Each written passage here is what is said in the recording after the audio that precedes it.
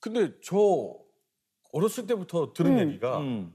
뭐든지 과하면 안 좋던데 콩은 먹으면 먹을수록 좋다라고 많이 얘기를 좀 맞아요. 들었어요. 그렇지. 맞아요. 어, 어. 그러면 파바빈도 그냥 있는 힘껏 먹어도 돼요?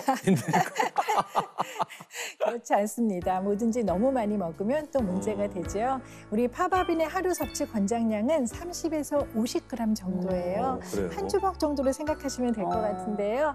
만약에 이 권장량 이상의 파바빈을 섭취할 경우에는요.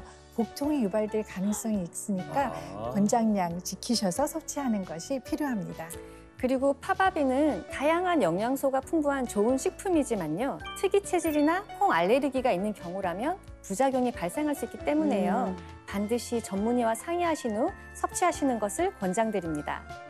자, 이제 초여름에 접어들면서 여름을 건강하게 나려면 건강관리는 필수잖아요. 특히 당뇨병 환자분들은 식단 윤회 꼭 유의하면서 건강하게 지냈으면 좋겠습니다. 네. 그러니까요. 아 여름에 여기저기 돌아다니고 놀아야 되는데 그럼요. 돈 놀고 아프면 집에만 있으면 맞습니다. 이게 정말로 슬픈 일. 더 아파요. 내 몸은 내가 지켜야 됩니다. 그렇습니다.